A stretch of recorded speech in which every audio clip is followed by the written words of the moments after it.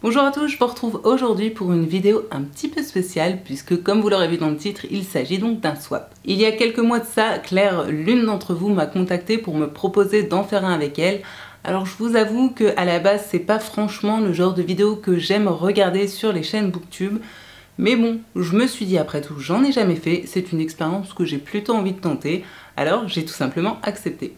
On s'est donc fixé un budget et surtout un thème qui était les thrillers, polars, romans noirs, policiers, enfin bref, vous voyez un petit peu le genre, parce que Claire connaît ma chaîne et que par conséquent elle sait que c'est ce qui me fait le plus vibrer en littérature. Du coup, ça m'arrangeait bien et je dois avouer que j'ai pris pas mal de plaisir à lui préparer ce petit colis. Alors étant donné que Claire n'a ni chaîne YouTube ni compte Instagram, je me suis permise de filmer un petit peu le colis que je lui fais aujourd'hui afin que vous sachiez bah, tout simplement ce que je lui envoie. Histoire qu'elle ne soit pas perdue dans le déballage, je lui ai préparé un petit mot avec une liste, un petit guide pour lui expliquer un petit peu ce qu'elle va trouver là-dedans. C'est donc parti, voyons tout ça ensemble. Dans la première partie de cette vidéo, vous allez donc euh, savoir ce que moi je lui emballe et dans la deuxième partie, bien sûr, vous allez retrouver le swap donc de tout ce qu'elle m'aura envoyé que je vous montrerai bien sûr petit curieux. Alors quand je dis deux parties, ce sera dans la même vidéo, entendons-nous bien. C'est donc parti tout de suite. Concernant le premier petit goodies que je lui envoie, eh bien il s'agit tout simplement de l'indispensable pour chaque lecteur. Et oui, et oui, il s'agit d'un marque-page sur lequel se trouve une charmante petite dague ou épée, je ne sais pas, je ne suis pas experte en armes. Et là c'est le moment youtubeuse beauté où j'essaye de vous montrer ça en gros plan en espérant que le focus fonctionne. Voici la bête. Numéro 2, c'est parfait pour laisser des indices top secrets puisqu'il s'agit de ceci. Mais qu'est-ce que ceci me direz-vous? Eh bien tout simplement un stylo qui permet d'écrire à l'encre invisible, sauf qu'au bout de son capuchon se trouve une lampe qui permet de révéler grâce à sa lumière le message que l'on aura inscrit. Bref, le parfait instrument pour agent secret. Numéro 3, je lui ai dit que tout bon flic en avait à disposition et en effet, il s'agit d'un ruban Scène de crime, ne pas dépasser. Alors oui, on est d'accord Claire, dans les faits, je sais pas vraiment ce que tu vas en faire, mais bon, on sait jamais si un jour t'as besoin de baliser un bout de ton jardin pour laisser le temps à tes fleurs de pousser à leur guise ou alors euh, bah, tout simplement de faire une mauvaise blague à ton voisin, au moins t'auras le matos sous la main. Et enfin numéro 4 et dernier goodies, il s'agit euh, d'un porte-clés du meilleur détective de toute la littérature. Oui, vous l'aurez deviné, il s'agit donc d'un porte-clés Sherlock Holmes. Non, c'est pas du tout la fangirl là qui parle.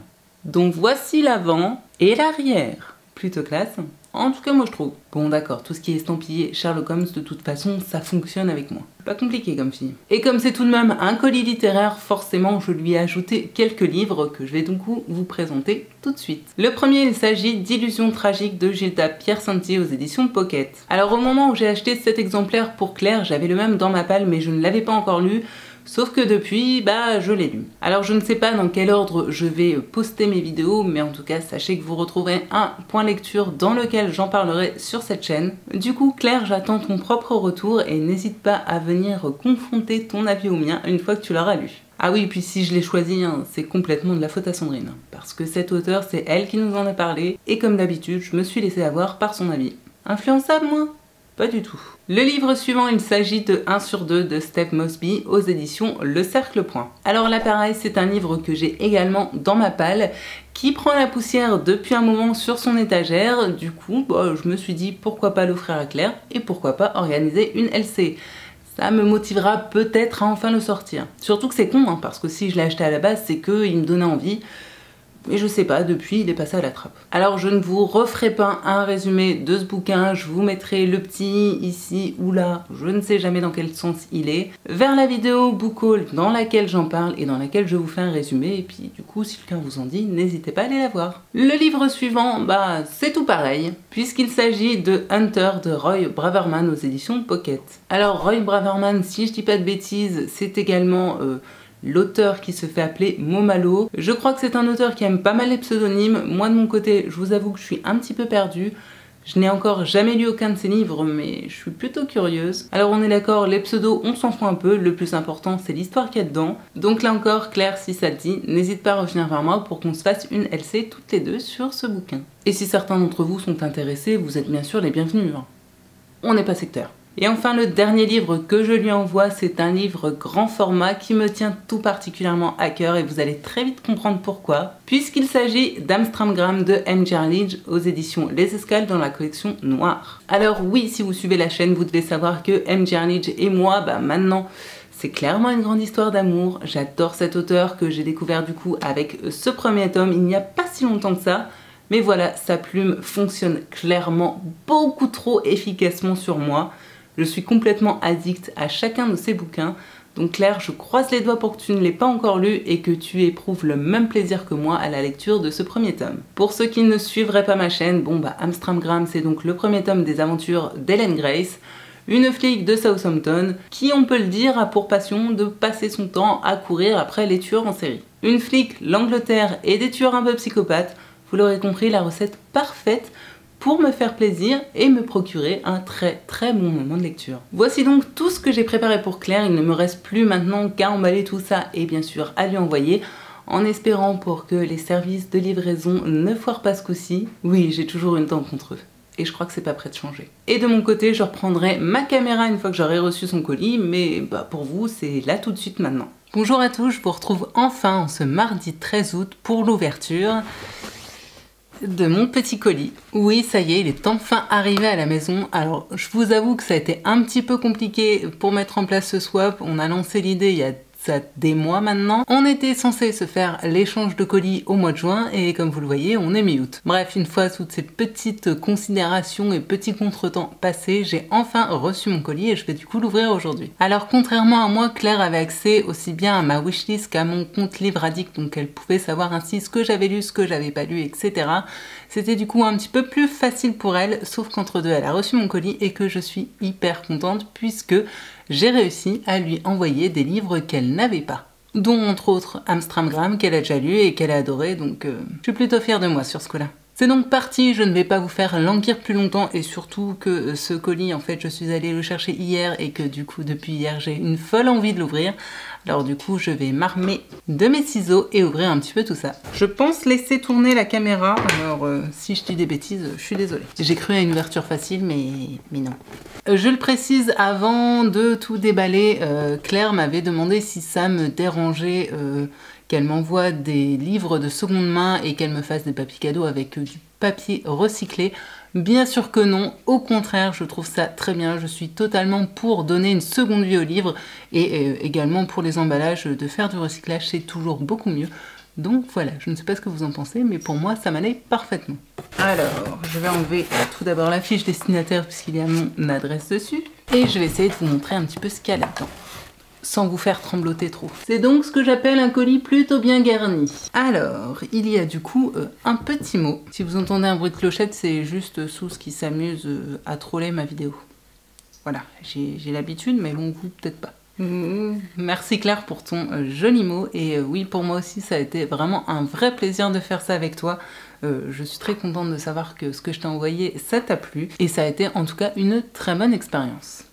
Je vais du coup commencer par le numéro 1. Je suis désolée, vous allez sûrement euh, voir beaucoup le dessus de mon crâne dans cette vidéo, mais je suis obligée de regarder un petit peu ce qu'il y a dans le carton.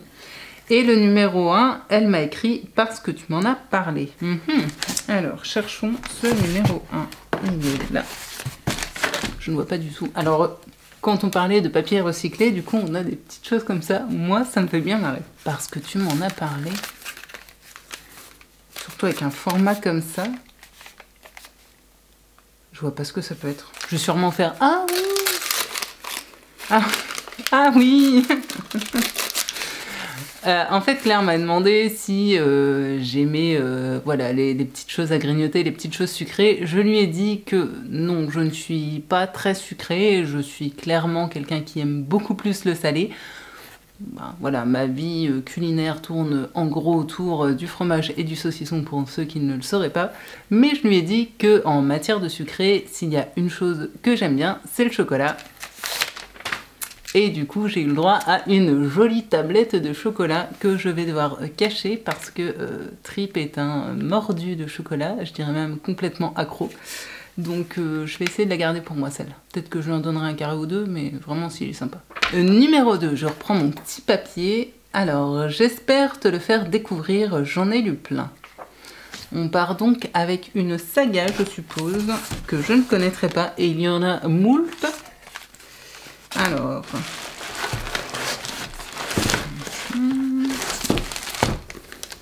Qu'est-ce donc, qu'est-ce je ne connais absolument pas, mais ça a l'air plutôt terrible. Il s'agit donc de Passage mortel de Cathy Reich. J'ai déjà entendu le nom de cet auteur. Euh, aux éditions Pocket. Laissez-moi juste lire la quatrième et je vous fais un petit résumé juste après. Ok, alors après avoir lu euh, la quatrième, on va être avec un bon tueur bien psychopathe puisqu'il va y être question de corps calcinés, d'un jeune couple égorgé, de bébés au cœur arraché et de jeunes filles vidées de leur sang. Voilà, rien que ça. Bon, jusque-là, on va dire que c'est à peu près euh, dans ce que j'ai l'habitude de lire. Et euh, j'en ai euh, compris qu'on va se retrouver avec un personnage, du coup, je suppose, récurrent, qui est anthropologue judiciaire et qui s'appelle Tempérance Brennan. Et si je ne dis pas de bêtises, c'est un des personnages principaux de la série Bones que je ne regarde pas, mais il me semble que c'est ce prénom-là. Et donc je ne savais pas que cette série était tirée apparemment de ce bouquin. Donc voilà, dites-moi si je me plante, mais il me semble vraiment que c'est le nom de ce personnage. En tout cas, ça a l'air terrible, ça a l'air d'être vraiment euh, ce que j'aime, et en plus, ce sera l'occasion de découvrir euh, un nouvel, enfin plutôt une nouvelle auteure. Donc euh, merci beaucoup, très bon choix, et effectivement, je ne l'ai absolument pas lu, je ne connais pas du tout, donc c'est avec beaucoup de plaisir que je le découvrirai. Ça va être gore Tout ce que j'aime. Numéro 3, on en a toujours besoin quand on lit. Vous le sentez là, le petit marque-page qui arrive? Je cherche ça et j'ai un paquet où il n'y a pas de numéro dessus. C'est peut-être celui-là. 8, 4... Ah Eh bien, je me suis fait avoir, ce n'est pas du tout un marque-page. Puisqu'il s'agit, je suppose, d'une tasse. Vous allez me dire, un sacré Sherlock. Hein. Comment j'ai deviné que c'était une tasse? Je ne sais pas. Qui m'a l'air euh, entière, avec les services de livraison de colis n'est pas toujours euh, garanti. Moi je suis trop mignon. Regardez-moi cette petite tache trop belle avec des petits flamants. Et sans le savoir, euh, sache que cette couleur est exactement la couleur de la peinture que je viens de mettre dans une chambre que nous venons de rénover. Donc voilà, ce sera parfait et très bien assorti. Je suis très contente, elle est très très très jolie. Et on est d'accord que bouquiner avec un café ou un thé, parce que je ne suis ni team thé ni team café, c'est toujours très sympa. Les deux se marient plutôt bien. Je suis d'accord. Passons à la suite. Numéro 4, Oulala, là là, j'ai adoré, j'espère que toi aussi. Mhm. Eh bien, nous allons voir ça. Alors, on a compris que c'était un bouquin. Hein.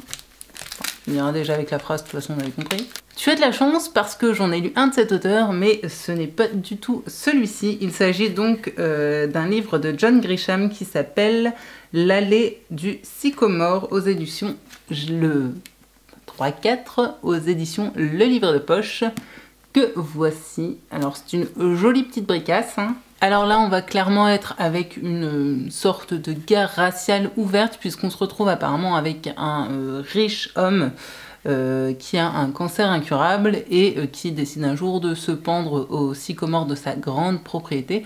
Sauf qu'avant de se pendre, il a rédigé un testament dans lequel il déshérite ses enfants et toute sa famille pour tout léguer à sa domestique noire. Sauf que nous sommes aux États-Unis dans les années 80 et que vous vous doutez bien que ça va pas très très très très bien se passer. J'aime beaucoup la dernière phrase de la quatrième qui nous dit un superbe roman où le déchaînement des passions humaines ouvre le chemin d'une possible rédemption. Dans mes souvenirs, j'avais plutôt bien aimé La plume de John Grisham et euh, j'avoue que ce résumé me donne pas mal envie. Bon alors va falloir quand même que je trouve le temps de me plonger dedans hein, parce qu'il fait euh, 750 euh, pages et plus. Mais à part ça, merci beaucoup, c'est un très bon choix et ça va me permettre de connaître un petit peu plus la plume de cet auteur. Merci encore. Numéro suivant, et il s'agira du numéro 5, parce que là aussi on peut lire. Parce que là aussi on peut lire. Et j'avoue que j'ai pas tout compris là. On va regarder. Ah Alors, je sais ce que c'est. Voici le petit paquet. Oui, alors ça peut sembler très bizarre, hein, comme ça. On sent très bien qu'il y a deux boules à l'intérieur.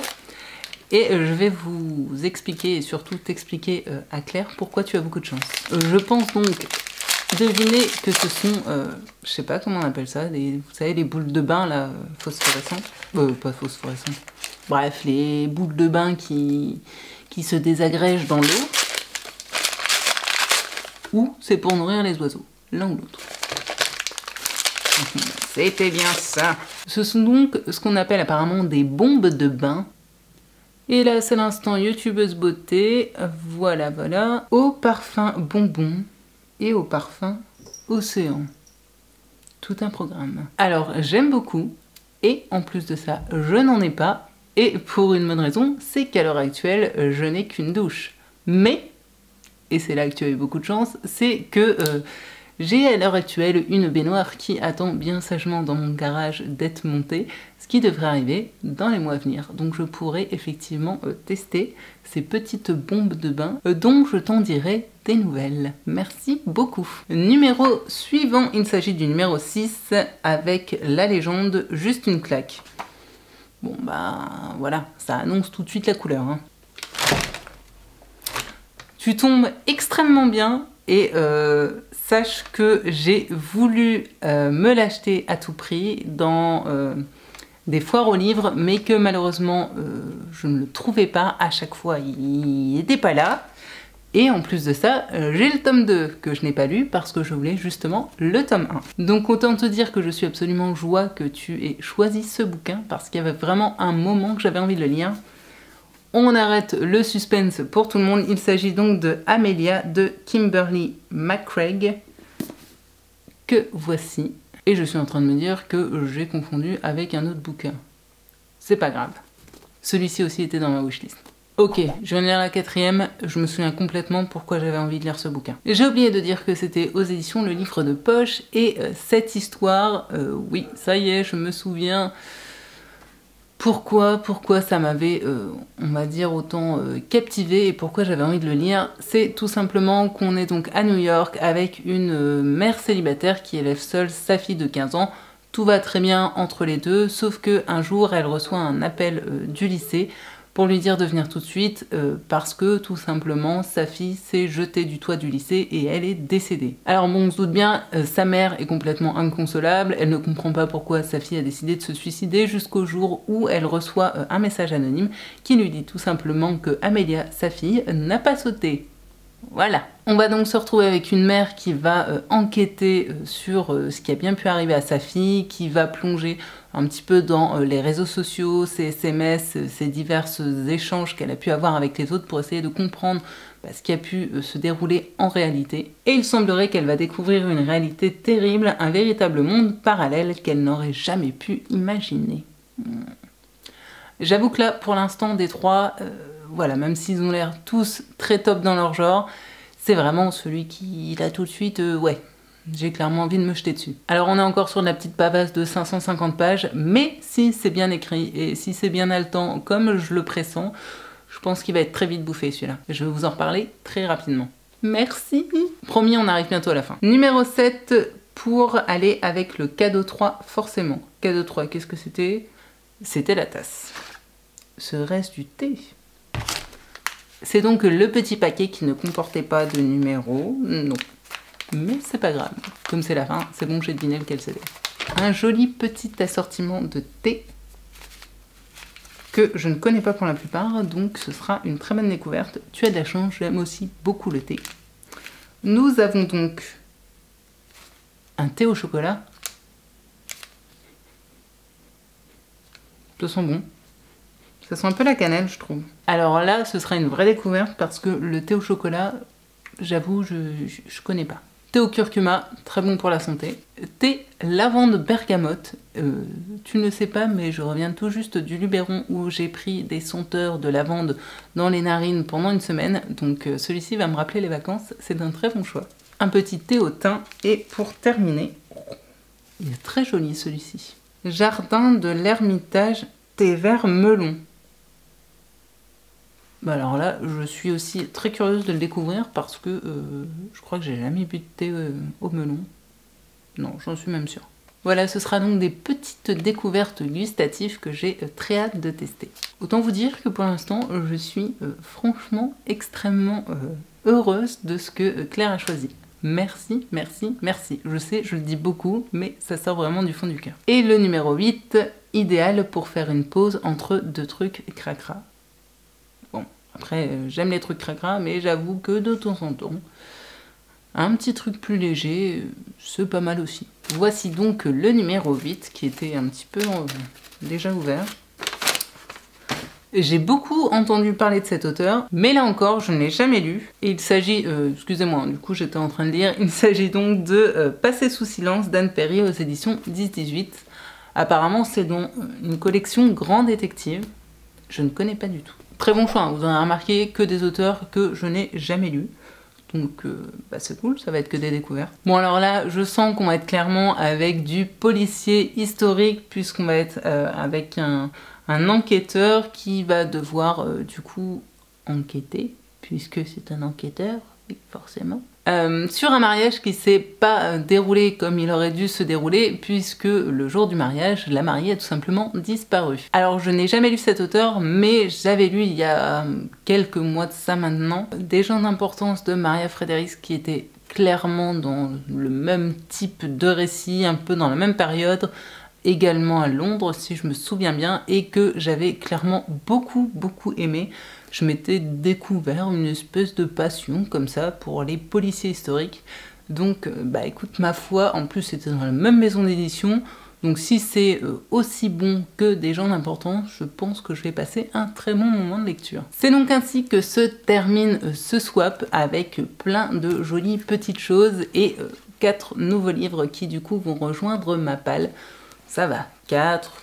On va dire qu'au point où on en est, ça va pas trop trop faire pencher la balance. Merci beaucoup Claire, en tout cas c'était des super euh, choix. Je suis vraiment très impatiente de découvrir du coup ces quatre bouquins que tu m'as envoyés. De toute façon, bien sûr, vous les verrez euh, tous dans des points lecture. Alors non, les swaps ce ne sont pas des vidéos que je vais faire régulièrement. Mais là, pour le coup, je suis très contente d'avoir tenté l'expérience. Encore une fois, merci énormément Claire, ça m'a fait énormément plaisir et je suis très contente de tous ces petits cadeaux qui, qui ont rejoint ma maison et qui vont rejoindre mes étagères. J'espère donc que cette vidéo un petit peu particulière vous aura plu. D'ailleurs, n'hésitez pas à me dire pourquoi pas en commentaire si vous souhaitez que je vous fasse d'autres vidéos qui changent un petit peu des book ou des points lecture. J'avoue que j'avais pas mal d'idées en tête, mais comme d'habitude, le problème c'est toujours de trouver le temps de les faire et je ne sais pas vraiment quel type de vidéo vous souhaiteriez le plus voir. Alors bah, si vous avez vraiment euh, une vidéo à thème ou que sais-je que vous aimeriez voir sur la chaîne, surtout n'hésitez pas à me le laisser en commentaire et puis bah, je verrai si je peux mettre ça en place. Comme d'habitude, je vous laisse donc là, je vous souhaite paix, amour et littérature dans vos cœurs et bonnes vacances pour ceux dont ce ne serait pas encore terminé. J'espère vous retrouver très vite sur cette chaîne, en tout cas moi je serai au rendez-vous. On n'oublie pas, si vous avez aimé la vidéo, un petit pouce levé et pourquoi pas un abonnement pour aider la chaîne, ça fait toujours plaisir. Je vous envoie tout plein de bisous et je vous dis à très bientôt. Bye